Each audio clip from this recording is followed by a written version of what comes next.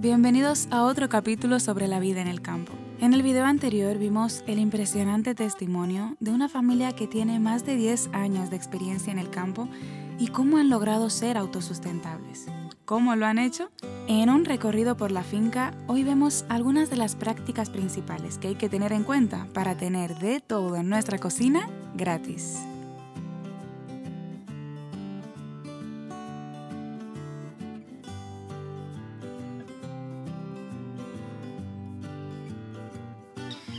Buenos días queridos amigos, aquí nos encontramos con Will Prandías, que es el encargado de este proyecto orgánico. ¿Cómo han hecho esto posible? Eh, ¿Qué conocimientos han puesto en práctica? Muy buenos días Michelle. Bueno, para eso tenemos que ir y, hacer el recorrido, vamos, Ah, y bueno. hacemos el recorrido. Muy bien. Este recorrido partimos desde aquí y como puedes mirar aquí tenemos cultivos a gran escala. Aquí de este lado, como tú puedes observar, siempre tenemos maíz. Eh, nosotros nos dimos la tarea de buscar la semilla nativa de la zona, porque es importante eso. Buscar las semillas criollas, que no sean semillas modificadas ni híbridas. Entonces nos dimos la tarea y hoy por hoy tenemos ya un banco de semillas de, de maíz orgánico, ¿sí?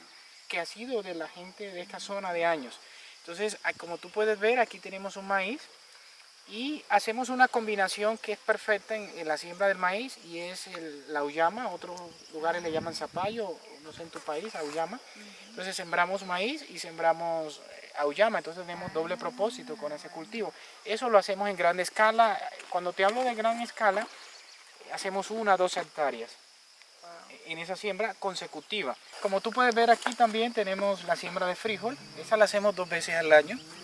Nosotros tenemos aproximadamente tres variedades de frijoles. ¿sí? Esta leguminosa es fundamental, es un cultivo que dura tres meses y medio eh, en, en el terreno. Después de eso pues lo cosechamos y tratamos de conservarlo.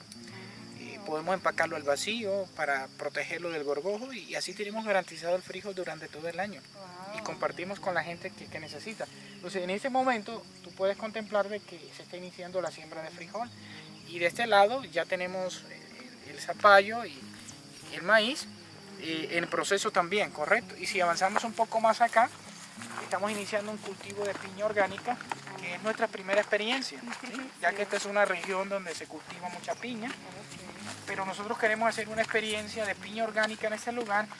¿Cuál es el objetivo de eso? No simplemente para tener una piña que, que no tenga químicos, el objetivo es atraer los piñeros. Estas personas que cultivan piña en la zona y que lo hacen de manera tradicional con los químicos, porque ya que la piña es, es uno de los productos que, que más insecticidas se le aplican y, eh, productos químicos. El objetivo nosotros es hacer un proyecto pequeño, aproximadamente vamos a sembrar 8.000 plantas de, piña, y lo vamos a hacer eh, de dos maneras para captar la atención de ellos y podamos decirle, mira, mira esta piña, y ellos van a preguntar, ¿qué le aplicaron? Entonces es la oportunidad de decirle, mira, hay una metodología para trabajar diferente y crear un vínculo con ellos, ¿correcto? Qué bonito. ¿Son ustedes los únicos que practican este tipo de cultivo orgánico en la zona o hay más personas que hacen esto mismo también? Nosotros estamos rodeados en una zona muy agrícola alrededor. Eh, esta zona, el potencial de esta zona es la piña, correcto, siembra mucha piña. Pero si tú visitas todas las fincas que tenemos alrededor, tú no vas a encontrar una finca orgánica, donde tú encuentres eh, maíz, el zapallo, los frijoles, eh, la alberja y todas esas cosas, y, y mucho menos las hortalizas. O sea, la gente se, se se enfrasca en un cultivo, o sea, en el caso de la piña, y son monocultivos, pero entonces ellos venden su piña, pero tienen que ir a comprar su tomate al pueblo. Entonces, ¿qué es el objetivo de este lugar? Que ya está sucediendo, muchas personas vienen aquí y dicen, uy, no sabíamos que aquí se da el brócoli, no sabíamos que, que aquí se podía eh, cultivar el repollo, no, no sabíamos esto. Entonces, como que crear esa iniciativa en el agricultor, que no es solo sembrar piña, sino que ellos pueden elaborar un huerto donde tengan producto de pan coger, donde puedan tener eh, eh, asegurado también su alimentación, ¿correcto? Y eso es lo que estamos tratando de hacer aquí. No podemos llegar a ellos con información de letra, ¿sí? Eh, a, a darles un curso de agroecología eh, teórico, pero y no tener nosotros nada sembrado. Eh, El campesino necesita ver los resultados. Eh, En este caso de la piña, si, si le vamos a decir a los campesinos, mira, no, no apliquen insecticidas, eh, no apliquen los agroquímicos, se puede sacar una piña orgánica. Yo les puedo dar la teoría, pero ellos me van a decir dónde están los resultados. Entonces, Mm. pero si elaboramos el cultivo allí y los traemos a ellos y ven los resultados, y decir, mire el tamaño de la piña, mire que se puede lograr, entonces eso, eso te da una autoridad frente a ellos. ¿sí? Sin- y tú sabes que el objetivo de esto es acercarnos a las personas.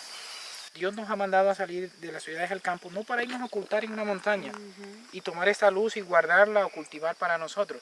El objetivo de esto es acercarnos a la gente, como Jesús lo hacía. Si nos acercamos a la gente, desarrollamos confianza con ellos, amistad, y eso nos abre una puerta para poder finalmente presentar la palabra. Ese es el objetivo fundamental, ¿correcto? Entre otros de sus cultivos se encuentran las viandas o víveres, como dicen en mi país, los cuales son el ñame, la yuca, el plátano, banano o guineo. También tienen cultivo de soya y árboles frutales como aguacates, naranjas y mandarinas. En este estilo de vida la comida deja de ser un gasto y se convierte en un activo, porque puedes vender el excedente que produces aparte de que suples tu canasta familiar.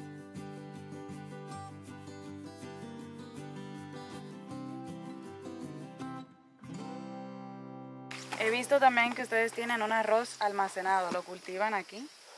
Bueno, eh, lamentablemente nosotros aquí estamos a 1600 metros sobre el nivel del mar.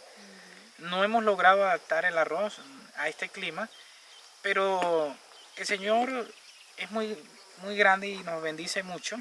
Y tenemos unas tierras hacia la costa de Colombia, ¿sí? costa caribe, cerca de, de Cartagena, hacia el Atlántico, y allá cultivamos el arroz.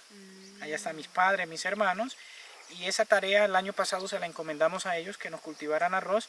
Ese arroz lo cosechamos allá, lo transportamos a este lugar, lo almacenamos en los tanques, como tú lo, lo vistes arriba, o, obtenimos una máquina para trillar el arroz y de ahí tenemos el arroz. Creo que nos alcanza para dos, tres años.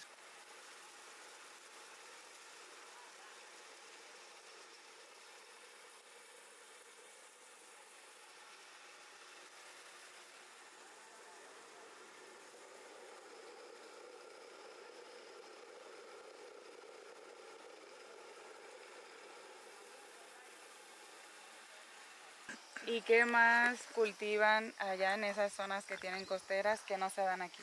Bueno, eh, allá también tenemos la oportunidad de, de- de cultivar una oleaginosa como es el ajonjolí.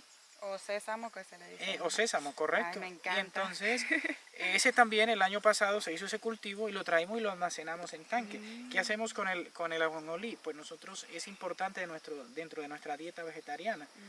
Allí también extraemos el aceite prensado al frío de ajonjolí y lo utilizamos para la elaboración del pan, el aceite, lo utilizamos para las comidas y el ajonjolí como tal pues lo utilizamos pulverizado en guiso y, y es, y es una fuente de proteína y de calcio excelente. Ese cultivo lo hacemos allá también. He visto también gente que llegan a comprar el aceite de ajonjolí prensado en frío, que no tiene nada que ver, yo que lo he probado, no tiene nada que ver con el que venden en el supermercado. Correcto, el Un sabor ajonjolí orgánico y puro. Puro. Totalmente. Perfecto. Wow, E- qué ese- e- ese cultivo todavía no lo hemos ensayado aquí, pero eh, yo te voy a hablar algo interesante. Se, se debe entender, cuando se habla de la vocación de los suelos, eh, cada cultivo tiene su, su- su suelo y su clima. En el caso de la ajonjolí, en las tierras que tenemos eh, hacia, hacia la costa, Tierra más caliente. más caliente, y la vocación de su suelo es para eso, arroz y ajonjolí, se da excelente. Poco esfuerzo y es como la, la vocación de esos suelos. Entonces, ¿qué hacemos? Aprovechar allá y entonces, pues allá tenemos personas que nos elaboran y le decimos, bueno, nos van a hacer una tarea de esto orgánicamente, uno le hace el seguimiento, ellos producen eso, se les garantiza la compra y nosotros lo traemos hacia acá. Wow. El- e- este, este proyecto no está acabado al 100%. ¿Cuál es el objetivo de esto, Michelle? Es importante que entendamos cómo podemos vincular a los vecinos. Esta idea me surgió cuando estuve en Costa Rica y conocí a una persona en Costa Rica mm, que no es adventista, tiene un proyecto orgánico. eh, más de 30 años ya lleva el proyecto caminando. Él ha logrado algo, que ese es el objetivo de nosotros, es vincular a los campesinos, ¿correcto? Es vincular a los campesinos. Hombre, eh, si logramos vincular a los campesinos, entonces, ¿qué hizo él? Muy bien, le dijo al, al campesino tradicional, ¿quieres dejar de sembrar con químicos? Correcto, yo te garantizo, te doy el asesoramiento y te garantizo la compra del producto a mejor precio de lo que te pagan en el mercado. Te doy todo el asesoramiento y tú me produces la piña orgánica, tú me vas a producir el banano orgánico y yo te garantizo eso. hoy por hoy él tiene más de 30 campesinos involucrados con él que no se quieren ir del lado de él, que han experimentado esto y que él se ha acercado a ellos a través de eso. Qué bonito que nosotros pudiéramos lograr eso en cada lugar donde se elaborara este proyecto, ¿correcto?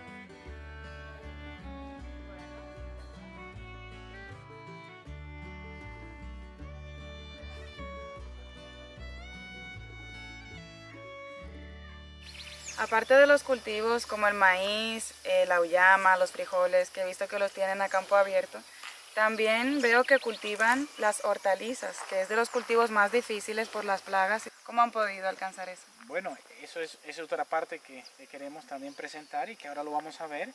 ¿Cómo ha sido ese proceso y la experiencia con las hortalizas? Porque es fundamental eso y, es como el, lo más difícil, donde todo el mundo dice, uy, cultivar tomate orgánico es imposible.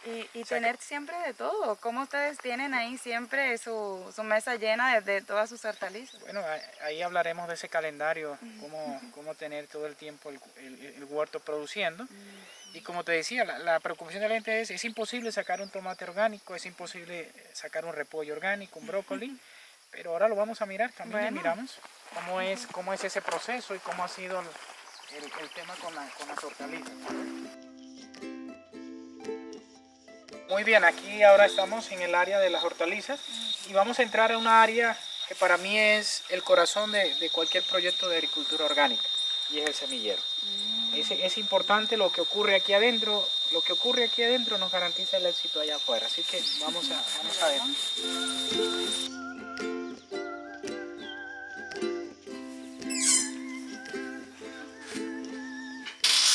Aquí hemos llegado a la, parte del semillero. Como yo te decía, ese es el corazón de cualquier proyecto de hortalizas orgánicas. Y nosotros aquí germinamos todo lo que cultivamos. ¿Qué cultivamos aquí? Brócoli, repollo, coliflor, remolacha, zanahoria, cebolla, ¿sí? lechugas, tú puedes ver. Entonces, eh, este trabajo aquí para mí es muy clave para el desarrollo de un proyecto orgánico, ya que aquí inicia la vida. Aquí es donde se siembran las semillitas. Aquí es donde se siembra la semilla, aquí inicia la vida, el proceso. La nutrición aquí de las plantas juegan un papel fundamental en el momento de trasplante, mm, ¿correcto? Y esta es un área que hemos diseñado, como tú puedes ver, pues tenemos una cobertura plástica para evitar la lluvia, tenemos una cobertura, una malla antiáfidos por los lados que nos garantiza también y nos protege con la, llegada de las plagas.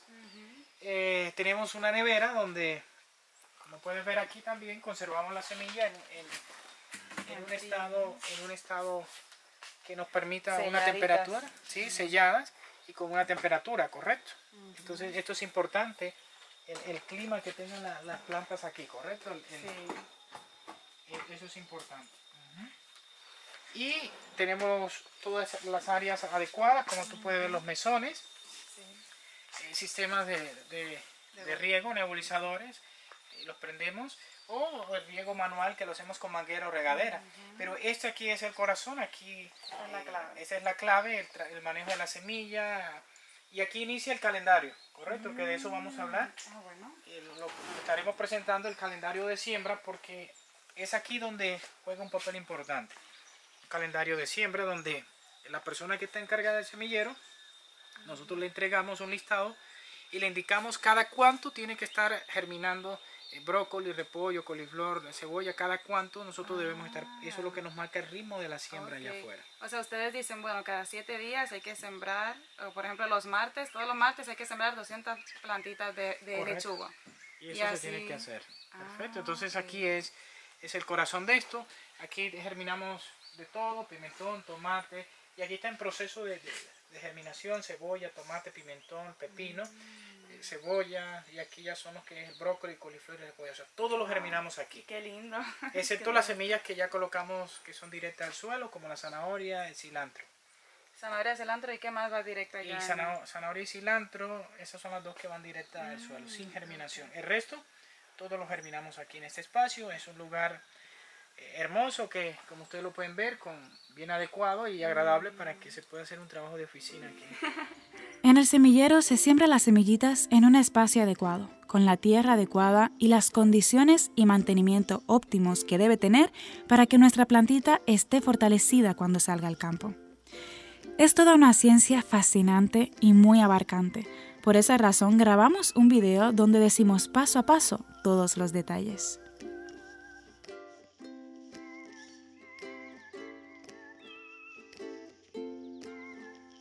Bueno, y después de esto del semillero, ¿qué más sigue? Bueno, después de que ya las plantas toman un tiempo de 20, 20, a partir de los 20 días, 22, 25 días, eh, entonces ya las pasamos al campo. Entonces vamos a ver cuáles son los desafíos que tenemos allá afuera en campos.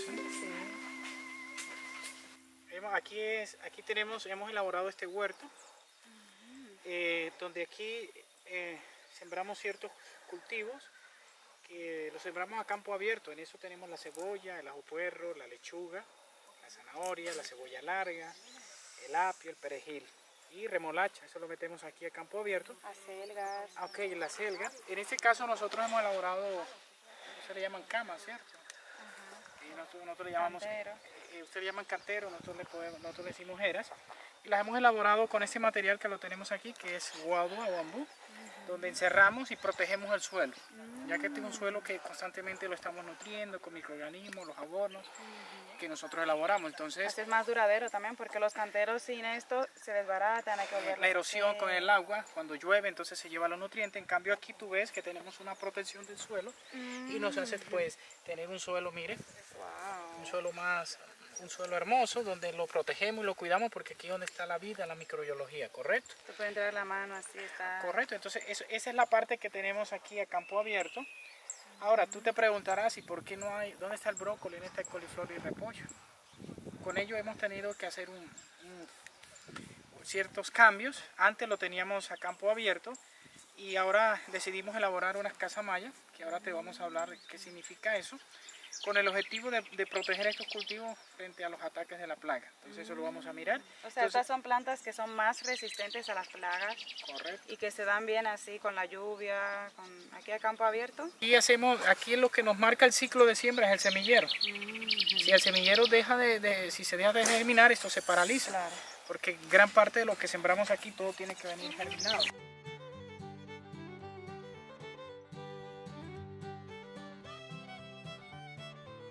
En este caso tenemos zanahoria que no necesita germinación, ¿correcto? Germinación en semillero. allá en el semillero, sino que esta se echa directamente al suelo, ¿sí? Y tenemos siempre una rotación para todo el tiempo tener eh, lo que es la zanahoria. Aquí tenemos también el apio y este también fue germinado allá, perfecto, en proceso de, crecimiento y desarrollo. Entonces, eso es lo que manejamos campo abierto. Ahora vamos a mirar qué es lo que estamos manejando en las casas maya. Nosotros le llamamos casa maya porque es una estructura que se trabaja con la malla antitriz y de eso vamos a mirar y cuál es el beneficio que hemos obtenido de eso. Perfecto.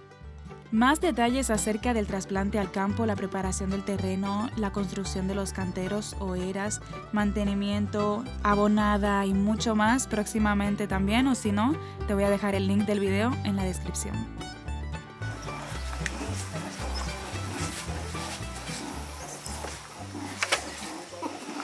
Hemos llegado a uno de de las casas mayas que nosotros llamamos.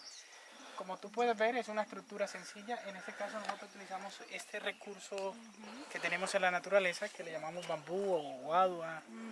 ¿Sí? Esto es muy típico aquí en la zona y lo aprovechamos. Entonces ves la estructura, utilizamos la malla antitriz o malla antiáfido. ¿Qué hicimos aquí? Esta idea nos ocurrió porque estábamos luchando y peleando con las plagas insecticida que lo mata inmediatamente, entonces hay que buscar la forma de proteger este cultivo. Entonces se nos vino la idea de elaborar estas casas maya. ¿Qué sembramos aquí? Tenemos el repollo, tenemos el coliflor y el brócoli, correcto, aquí adentro, y lo protegemos. Si tuviéramos este cultivo afuera, no tendríamos esta calidad de hoja que tú ves. Sí, no, esto, Es, esto es palpable, mire, la, la hoja no está picada, la, la nutrición, El tamaño que tiene esto. o perfecto, sea, la nutrición. Y otra cosa importante, Michelle, que hemos logrado es reducir el tiempo en cuanto a, a la producción. O sea, aquí el- se acelera más el proceso de, de- para el fruto, es más rápido que afuera. Claro, al ella no tener los ataques de las plagas, le es más fácil desarrollarse. Perfecto, entonces, ¿qué hacemos aquí? Estos espacios reducidos, que le llamamos casamaya, nos centramos en la, en la nutrición del suelo, ¿correcto? Trabajamos entonces en la parte de lo que es nutrición del suelo, ¿sí? a, a- temas de, de abono sólido como el bocachi, eh, sistemas de goteo, donde mandamos también los microorganismos aquí, los fertilizantes que preparemos, se los mandamos aquí, entonces la tenemos bien cuidada en este ambiente, el desarrollo de la planta es mucho más favorable. ¿Cuál es la diferencia entre esto aquí y un invernadero? Ok, buena pregunta. Eh, en el caso del tomate necesito una cobertura plástica porque al tomate no le gusta la lluvia, poca agua, es de poca agua. En el caso del brócoli, coliflor de repollo sí le encanta el agua, entonces tenemos esta malla antiáfido, malla antitris, que cuando llueve, ojalá tuvieran la oportunidad de ingresar aquí y se hace como una neblina aquí adentro. Entra la lluvia, pero de una manera suave, como un rocío, entonces si tú lo puedes observar, lo ves encima de las plantas, ese, ese rocío, y entonces eso le encanta al brócoli, al coliflor, correcto, el repollo. Y aquí tenemos un ciclo que es importante. Tenemos un ciclo de siembra donde este lote lo, lo- lo vamos a cosechar, después sigue el otro, después el otro, y finalmente después eh, preparamos terreno nuevamente y hacemos una rotación de cultivo aquí adentro. Y Perfecto. así a medida que va saliendo del semillero, ustedes van sembrando. Sí, entonces en este caso hemos elaborado dos, tres, tenemos cuatro casamayas. En esas casamayas, en esas cuatro hacemos la rotación y tenemos un ciclo completo. Entonces cuando lleguemos a la última casamaya, pues ya esta está en producción nuevamente. Entonces es la rotación que, Y que así tienen llevar. siempre, están siempre comiendo brócoli, repollo, coliflor. Perfecto, esa es la idea. Es engranar eso y que todo el tiempo tengamos esos productos aquí. Si quieres saber cómo preparar el abono sólido Bokashi, muy sencillo y con materiales muy fáciles de conseguir, cómo reproducir y activar microorganismos que son imprescindibles para nuestra siembra, con materiales del bosque muy fácil, muy rápido y muchos más detalles acerca de la construcción de casa maya, invernaderos, distancia entre una planta y otra. Y tenemos un video especialmente para el tomate donde vemos la poda, el mantenimiento del cultivo, la construcción del invernadero, el sistema de riego que debe tener y mucho más. Ahora vamos a ir a una que está en un proceso de preparación que, que viene la- después de esta, es donde vamos a empezar a sembrar. Así que vamos y miramos a esa, ¿sí?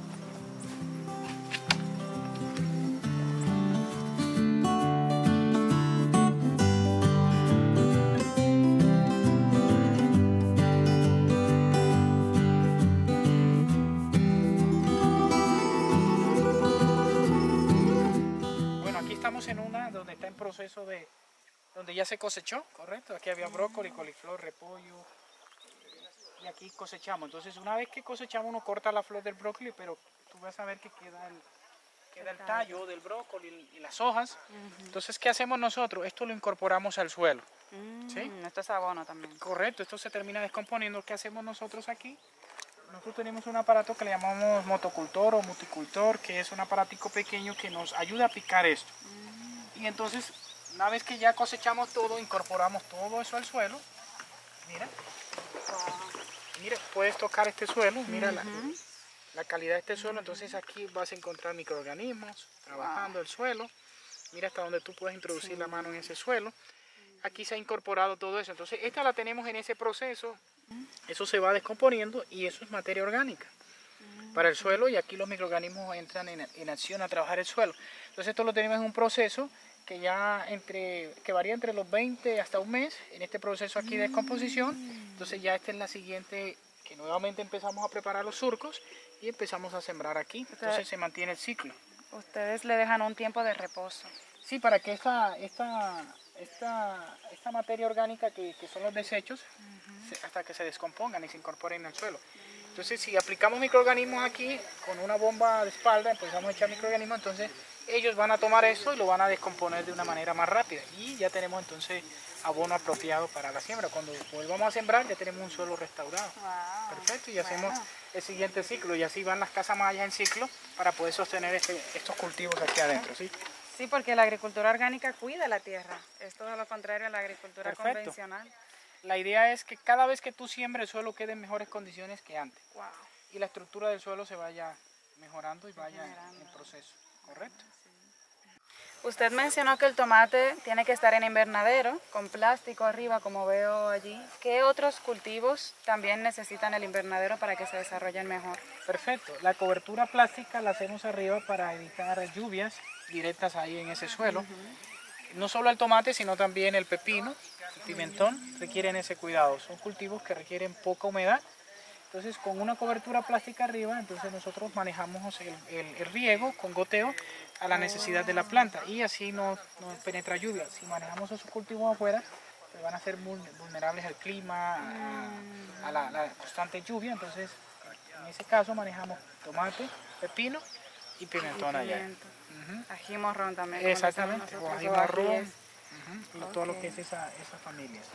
Wilfran, me ha impactado grandemente lo que he visto aquí, este recorrido, cómo hacerlo. Y es, o sea, realmente quiero reproducir esto allá en el lugar donde estoy. Quiero poner estas cosas en práctica y me gustaría también que, bueno, que las personas que vean este video puedan motivarse a hacer esto también en, otros lugares. Y qué bonito fuera que en todo el mundo esto pudiera hacerse. Y, ese ha sido el deseo de mi corazón, de que enamorar a los hermanos de esto que desarrollemos amor hacia, hacia la agricultura, hacia la tierra, porque esto es vida.